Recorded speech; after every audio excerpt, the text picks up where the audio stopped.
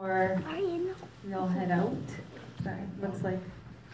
Um, yeah, you're gonna have to play that song because Nathan, come and play that song. right when I tell you to. Okay. Okay. Where's the song? Where's the lyrics? Let me do this first, and then I'll, I'll Oh, say okay, it. okay. You stay still. You can read it. Tatay, you were a very special person on earth. You were a grandpa, a father, an uncle, a cousin, a brother, and a son.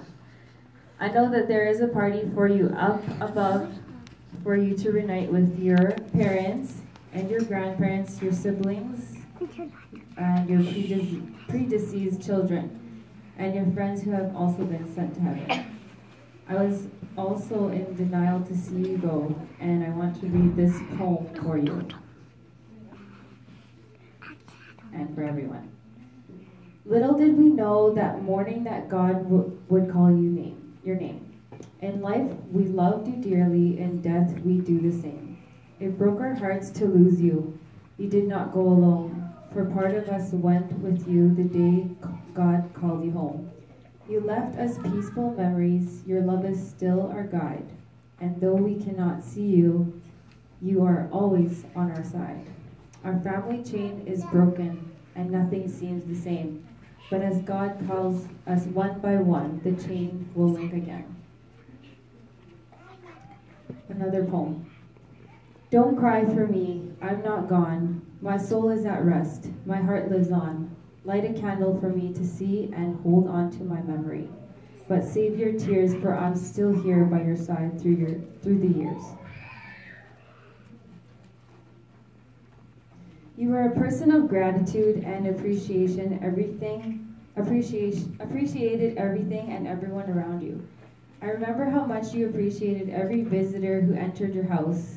You and Nanay opened your beautiful home to so many people, sorry, so many family members and relatives. And each time you had a visitor, you would treat them like royalty. You made every visitor feel at home. You and Nanay should op- should have opened up a bed and breakfast hotel business. It would have been the best business in Winnipeg. I'm so thankful to have such a special person in our lives, to have experienced a life with a, such a gentle, caring, humble, strong, hardworking, and loving grandfather. Thank you, Ananai, for caring and raising me like your own child when my parents were younger. I'm so glad I had a grandpa to pick me up from school, even if I rode my bike home that day.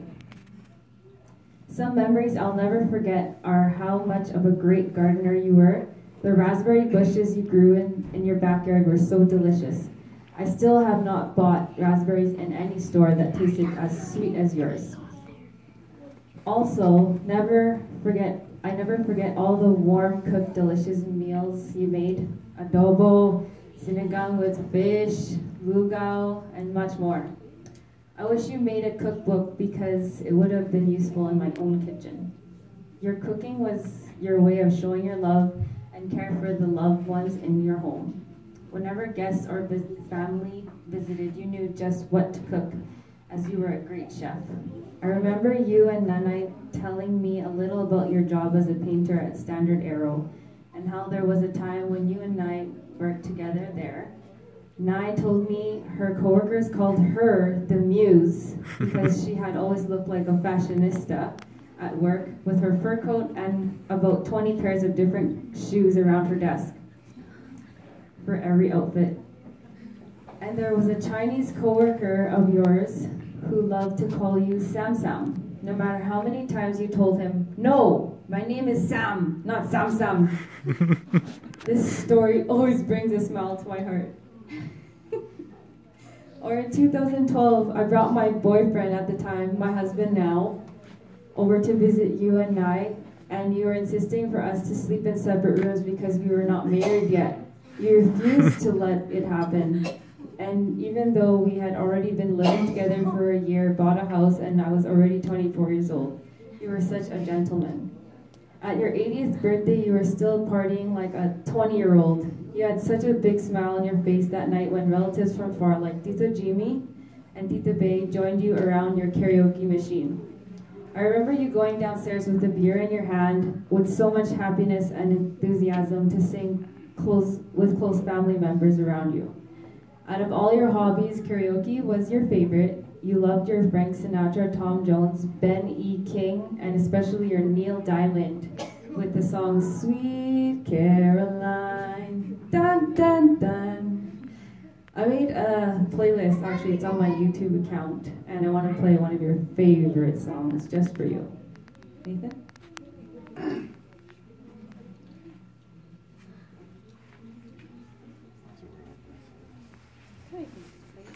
You guys can sing along if you like.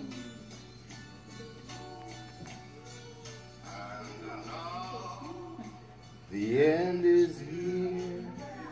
We need lyrics. The final curtain. My friends, I'll say it clear. I'll state my case, of which I'm certain.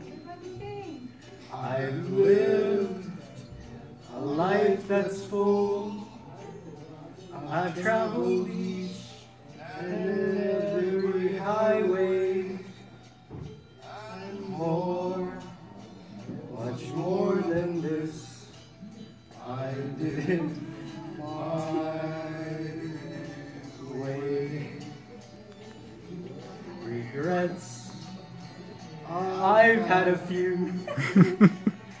but then again, too few to mention. I did what I had to do and saw it through without exemption. I planned each charted course, each careful step along the byway, and more, much more than this.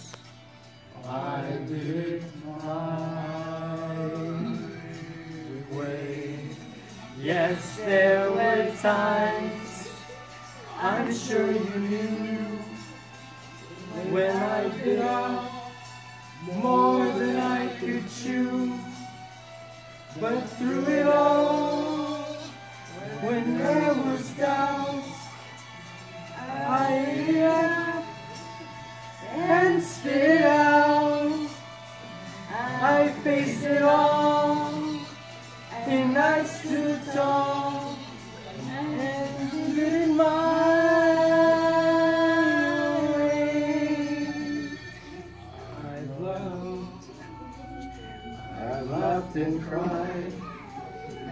I've had my fill, my share of losing, and now, as tears subside, I find it all so amusing to think I did all that.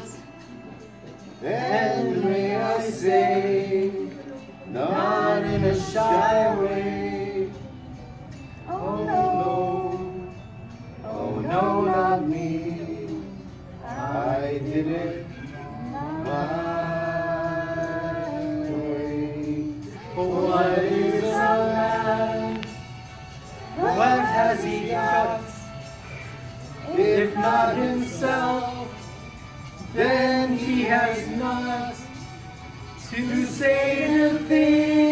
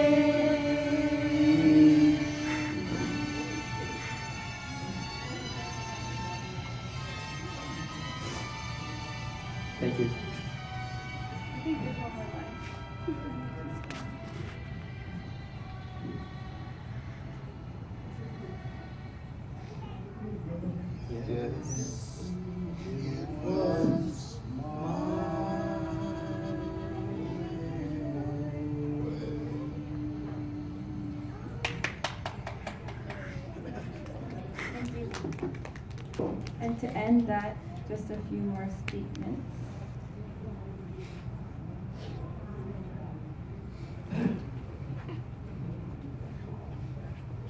I hope you enjoyed that, everyone, and Tatay. When I used to work at Suitors, you used to always have this milk jug of water that you drank from. It was there always, prepared for you to drink water anytime you needed it. You were always prepared for anything, even if we were thirsty. Every time I visited you, I would always look forward to just hanging out with you and I at home and especially singing karaoke with the both of you. It was such a fun family activity with your sense of humor and patience while I usually took the microphone from you to sing a Shania Twain song or two. I remember picking songs to sing on the karaoke and you asking me how I knew the songs and I told you I heard them on the radio or the internet and you were so impressed. I remember also when you and I visited us in Regina and when you went out for a smoke and my cat ran out the door. I followed your hollering voice as you were yelling at the cat to come back inside. And then I ran to you, finding you holding my cat and taking him inside the house. I, I know you didn't really like pets, but you sure showed them a lot of love. or you cared to not let them run away from the house. That's good. Or when we visited you and I, when we brought our dogs and you and I were babysitting Harvey's dogs too. You were always so creative with everything, as Nathan pointed out earlier. The dogs needed baths, so you brought the dogs outside and hosed them down like they were cars. and then you dried them with a hair blow dryer a meter away. also, during that same time, Matt and I forgot to bring a dog leash to walk Chevy, our dog, and you provided Matt with a thin but sturdy enough yellow rope from your garage to use to walk Chevy. Now, every time I look at any yellow straw like rope in your garage or in the hardware store, I remember all the things you used for it. There are places to eat in Winnipeg that I'll never forget were your favorite restaurants that I will always remember when you whenever I visit in the future. They are both on Regent Street. Number one was the Royal Forks Buffet. And number two, especially, the McDonald's near the casino. Your usual order was always hotcakes with sausage, syrup, and coffee. You love taking Nana and I shopping at the malls and waiting for us by walking around and hanging out in the mall. I would sometimes bug you whenever there was a good looking girl around and I would say, Tatay, stop checking out that lady over there. Even though he only lasts for like a second, it was just another human being. Sorry. Even though he only glanced for a second, like it was just another human being. He would laugh, or sometimes he wouldn't laugh and he would just nod at me like he does when he says, I love you, with a sincere smirk on his face. Kind of like, and then followed with a couple blinks. you are the best, Tatay. I couldn't have asked for a better grandpa. Thank you for being you. I love you, Ty. I'll always be your Evian.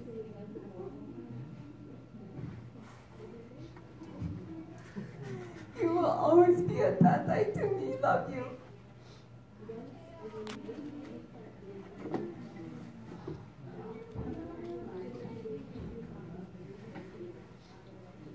rest in paradise.